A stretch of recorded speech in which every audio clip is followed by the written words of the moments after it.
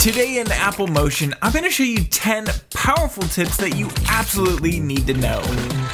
An issue that has plagued me ever since I first started with Apple Motion was seemingly the inability to publish a gradient from Motion to Final Cut Pro. Originally, my workflow would be to go ahead and click this down arrow on a gradient, select each individual color, come over to the right side, click the down arrow, and select Publish.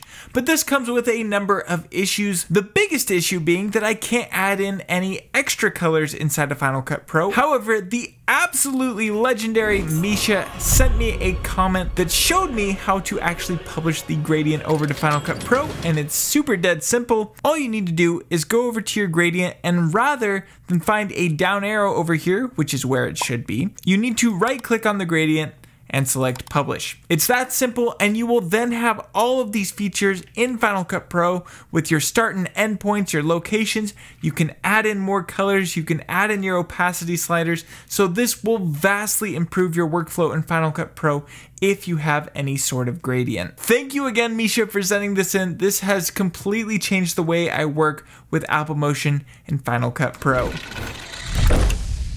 Clone layers are super powerful in motion. For example, if I had the circle, I could push K, that would give me a clone layer. I could drag that clone layer off to the left hand side and now any changes I make to this original layer will also apply to the clone layer. So if we go into the shape settings, we could change the gradient and now the gradient will be changed on both of these circles. However, there is a large issue with clone layers. If I push play, you'll notice that my original layer is animated in this up and down motion, but the clone layer does not have any of that animation. So if you want to animate your clone layer in the exact same way that your original layer was animated, all you need to do is first go ahead and create a group that contains your original layer. So I have this group here and I'm going to push K, which will create the clone layer from the group, which means that any animations applied onto that original layer will be applied to this clone layer. So if I push play, you can now see that both the clone layer and original layer are animated together. And if I make any changes to this original layer, say for example the scale, the changes will apply to both layers. Photoshop files in Motion are super powerful because you can have all of your images in a singular file which you then import into Motion. However, you may notice that if I were to just click and drag a Photoshop file from Finder, it's just going to come in as a single layer.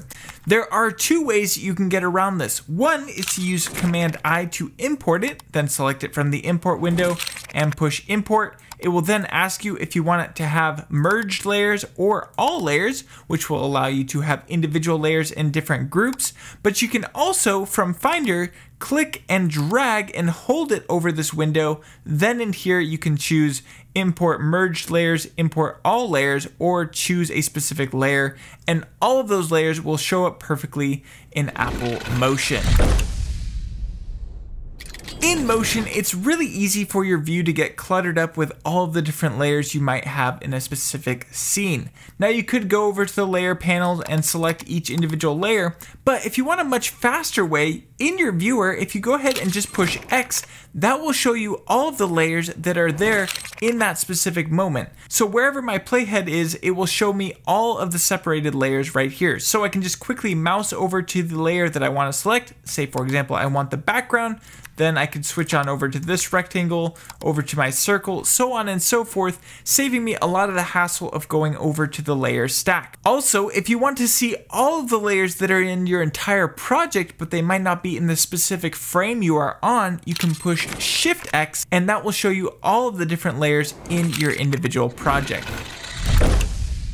When you're editing, it is really important to be able to have a frame by frame edit system. And in Motion, it seems like it's a little bit difficult at first because you may want to click and drag and try and move stuff a single frame, but sometimes it jumps more than just a single frame because it's got all this snapping and it's all really frustrating. But what you can do instead is select that layer inside of your timeline and then push Command left or right arrow and that will nudge it over a single frame.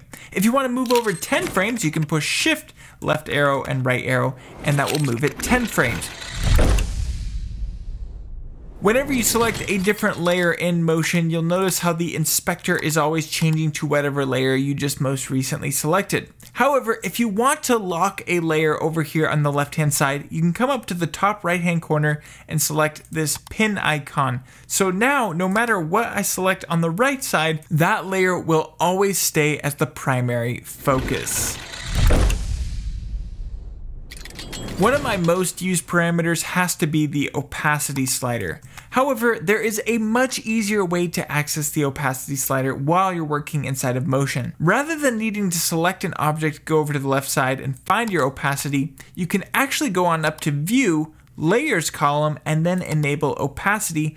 And now in our Layers panel, we can adjust the opacity as we need it. You can also go up to your View, Layers column and enable stuff like the Blend mode.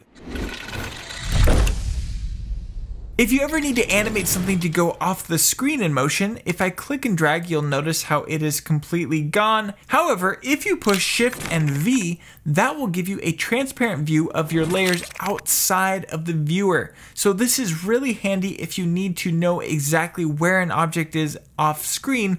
Just know that it is not going to show up in the final render unless it is inside of your view area. If you look at my thumbnails, you know that I really love gradients. However, working with gradients seems a little bit more difficult than it should. If I wanted to adjust the position of this gradient, I would come on over to the left side and start moving around the start and end points here, and this is just really frustrating to work with. But there's actually a tool to make this way easier, and that is the adjust item tool. If we come over to where our arrow is, click the down arrow, we can find the adjust item tool, and you'll see that it provides me with these on-screen controls which I can easily click and drag around my viewer. So I can line up my gradients exactly as they should be way faster rather than trying to dial in these exact specific values. And last but not least is how you can reverse a particle emitter. Right now, if I push play, I have this basic particle emitter. Maybe I want those particles to actually reverse and go back to their origin point. To do that, I'll go ahead and select the group that is containing the emitter. Then I'm gonna push K to create a clone layer. From there, let's hide that original layer so we just have the clone layer that's emitting the particles. Selecting the clone layer, if we go over to our properties and locate at the bottom the timing timing tab, we can click show. And in here, we have a bunch of different options to work with the timing. You'll see there is this reverse option. I'll go ahead and check that and now these particles are actually going to play in reverse back down to their origin point. It should be noted that this seemingly only works for motion compositions and generators. So if you wanted to set this up for a title, then you would be out of luck and you would need to go over into a generator project. If this video was helpful to you in any way, consider pressing that like button, consider subscribing, and you may want to check out this video where I show you 10 more powerful tips for Apple Motion. With that being said, thank you so much for watching and I cannot wait to see you in the next one.